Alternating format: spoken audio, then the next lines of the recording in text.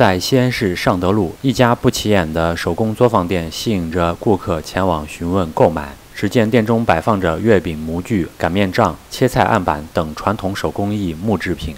二月二十日，记者探访了解到，店主名叫杨宝林。今年五十四岁，从事手工艺木制品制作已有三十余年。杨宝林祖籍河南，年幼时跟随父母一起来到西安，并扎根下来。家中兄妹九人，杨宝林为老八。早年父亲是一名木匠工，家里生活条件比较困难。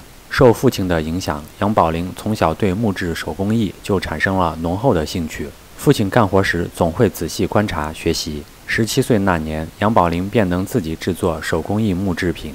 后来就开了一家模具选品店，边制作边售卖，以贴补家用。制作一件手工艺木制品，先要从选料开始，其中桦木、枣木、桃木等都是选择木料之一。然后再根据顾客的图纸需求，通过车床和刀具进行加工制作。往往一件小的木制品十几分钟便可完成，大件的木制品三五天就能完成，价格也从十几元到上千元不等。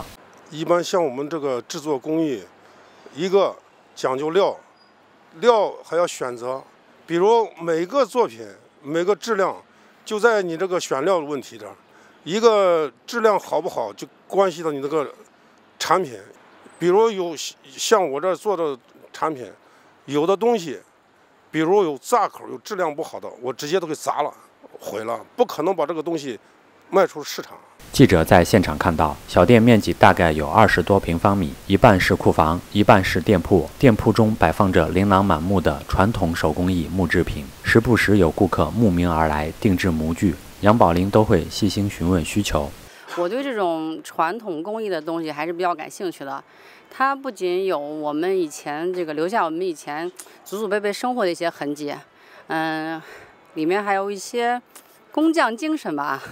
我觉得这个都是我们现代人哈，可能比较缺乏的东西，是一种非物质之上精神层面的东西。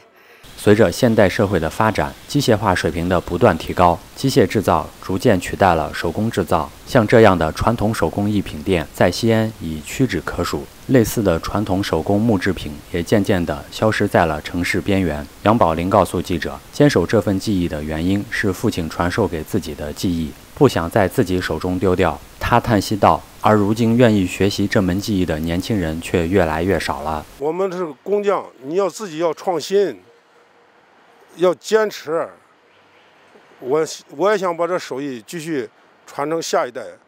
我从我父亲那那学会的，但是我这个手艺还是有关部门还想传承给年轻人，让他们把这个匠心学学到手，继续传承下去。